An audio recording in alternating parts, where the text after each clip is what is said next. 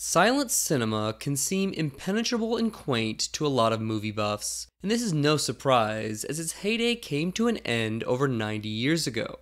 However, for anyone interested in film history or the artistry of the medium, at least a cursory knowledge of silent film is essential. The problem is that silent movies are vastly different from modern ones in terms of style. The acting isn't as naturalistic since the actors could only give a performance with their face and body language. The pace is often slower, and of course, you have to read the dialogue on intertitles that break up the action instead of just listening to the actors. So, how can a newcomer overcome these obstacles? In my opinion, the genre of silent film that holds up the most and is easily accessible to today's audiences is clearly comedy. Of course, the emphasis is on visual and physical comedy, which helps make the humor feel timeless. In terms of where to start with comedy from this era, to me there's a clear choice, and that's the legendary actor, writer, and director Charlie Chaplin. He was a master at slapstick comedy, but still imbued his films with real emotion and at times political messages. Chaplin was strongly associated with his bumbling but kind character known as the Tramp, recognizable for his iconic look that included a mustache and a bowler hat. The character was featured in Chaplin's 1921 film The Kid, his first feature as director. Despite being his full length debut, it was loved by audiences and critics alike at the time, as well as in the decades since. The Kid even has a perfect 100% score from critics on Rotten Tomatoes. The Gold Rush from 1925 is another one of his finest films that came out during the height of his popularity and also featured Chaplin as the tramp. Chaplin was one of the very few that continued to make silent movies even after the quick rise of sound in 1927 and 28. These were just as well received, especially the 1931 film City Lights, which is ranked number 11 in the 2007 list of the best films ever made from the American Film Institute. While not truly silent, as it had a synchronized score and sound effects, it did use intertitles in place of dialogue. This also applies to Modern Times from 1936, where Chaplin's social commentary became much more explicit in dealing with the Great Depression. Another icon of silent comedy was actor director Buster Keaton, who wasn't as popular as Chaplin when he was active, but has been massively influential since. He was known for having a stone faced, deadpan look that contrasted with the ridiculous situations he got into. A great place to start with Keaton is The General from 1926, which is set during the Civil War. It's full of impressive spectacle, notably in the climactic train wreck sequence. The General wasn't well received when it came out, but has since seen its reputation vastly improved. For instance, the prestigious critics group Sight and Sound has ranked it as high as number 8 on their list of the greatest films of all time. Sherlock Jr. is another Keaton classic and was number 62 on AFI's list of the 100 best comedies. More popular than Keaton at the time, but slightly less remembered today, is slapstick comedian Harold Lloyd. His most well known movie is Safety Last, which features possibly the most iconic image of silent cinema Lloyd hanging off a clock on the side of a skyscraper. Other important silent comedians include Harry Langdon, Fatty Arbuckle, and Mack Sennett. The famous duo Laurel and Hardy also began their careers in the late silent era. Another genre of silent film that's relatively accessible to modern viewers is horror. Silent horror has a lot of creative visuals, and often the creepiness still holds up. A perfect example is the most pivotal one of all, Nosferatu. The 1922 film was ostensibly an original story, but was clearly a ripoff of the Bram Stoker novel Dracula, leading his estate to successfully sue for copyright infringement. A judge even ordered that all prints of Nosferatu needed to be destroyed, so we're lucky we can even watch it. Nosferatu is part of the movement dubbed German Expressionism, which was related to the larger Expressionist art style that began in painting, theater, and other art forms. In Expressionist cinema, sets are often quite exaggerated or distorted in some way, and the performances were over the top to match.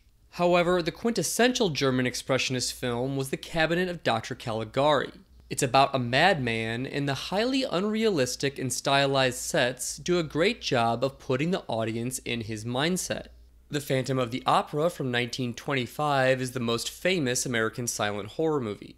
It was distributed by Universal Pictures, who became strongly associated with horror monsters in the 1930s with Dracula, The Mummy, and Frankenstein. The Phantom of the Opera was sort of a precursor to those films and featured one of the most well known roles from horror legend Lon Chaney. His look as the title character is among the most unforgettable in all of silent film. From there, I'd also recommend some science fiction, as like with horror, it can have some interesting imagery. An absolute must watch is A Trip to the Moon from 1902. It's good for beginners partly due to its sub 20 minute runtime, as it was produced prior to the advent of what we now consider feature length films. In the short, scientists travel to the moon and are attacked by aliens. Like many of director Georges Méliès's films, it uses stop motion effects that, of course, seem primitive today, but were revolutionary in cinema's infancy. A Trip to the Moon contains some striking visuals and remarkable color that was hand painted frame by frame. The most renowned science fiction feature of the era is easily Metropolis, an undeniably beautiful film with unique, powerful visuals. Made by the prolific German director Fritz Lang, Metropolis is a part of German Expressionism just like Nosferatu or Caligari.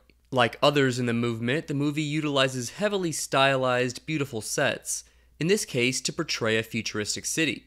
One way in which Metropolis is accessible is that it uses few intertitles, and the story is mainly told visually.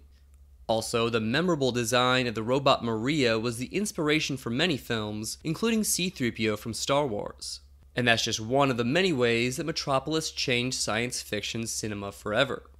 Similarly, the genre of animation is visually stimulating, and almost all the animated films from the silent period were under 40 minutes.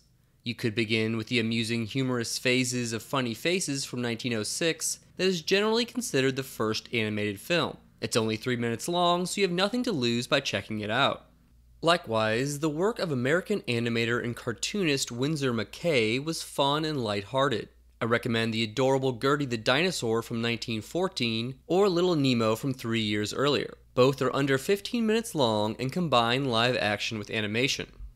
Additionally, there are some documentaries I'd say are suitable for newcomers. Although it blurs the line between fiction and documentary, the creepy and bizarre Häxan, or as it was called in English, Witchcraft Through the Ages, is definitely one of them. It was much more graphic than you might expect from this time period, so much so that it was banned in the United States. Another interesting silent documentary is Nanook of the North, which also combines reality with artifice. Despite much of the film being staged or fictionalized, it's still an interesting look at the indigenous people of Canada and was seminal for the documentary genre. Many surrealist works of the time are easy to get into, partly due to just how bizarre they are. The most significant is Un Chien Andalou, the first film by one of the all time greats, director Luis Buñuel. It was also co written by a household name of the art world, Salvador Dali.